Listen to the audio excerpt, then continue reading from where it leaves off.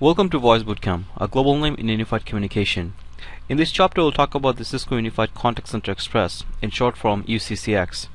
UCCX is a Cisco applications that provide call center solution for small to mid-sized business or for up desi uh, designed to host up to 300 agent.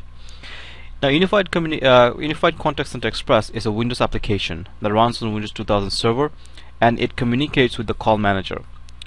In order to uh, pr provide a call center solutions in a Cisco environment using UCCX, you must have Cisco Unified Communication Manager with the proper versions to communicate with the uh, UCCX.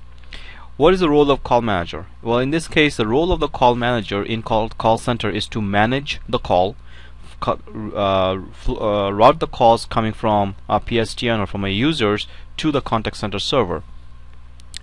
Another role of call manager is to ensure that uh, uh, all the agent phones are registered and connected with the proper configurations and uh, all the other settings. So uh, the, these are one of the two most important functions that call manager provides in addition to providing authentic authentication for the agent. Now UCCX also relies on active uh, some sort of uh, directory service either using an active directory so using LDAP or you can use the call manager built-in directory service as well. UCCX Express server that is the actual server where your contact center is installed. And that server is responsible for running your uh, contact center engine. So all your application support or call center uh, uh, applications the script that you write will be executed by the uh, by the uh, contact center uh, engine. Now ECCX Express Script Editor is an application that you use to write your call center application call flows for example.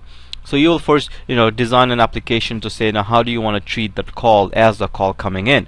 So for example you can say well you know what? I'm going to say when a call coming in I'm comes into my call center I'm going to say welcome to voice bootcamp. Uh, press 1 for technical support press 2 to reach the sales. And you create an auto attendant which will then if somebody press 1 which is for uh, technical support then the contact center will try to find out the available agent and then send the calls to the uh, agents who are able to answer the call. If agents are not available the call will be set uh, hold in a queue.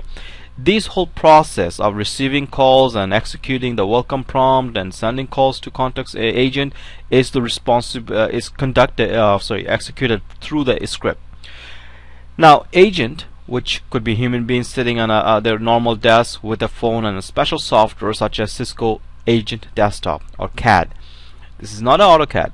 Cisco Agent Desktop is an application that you install on uh, on the Agent PC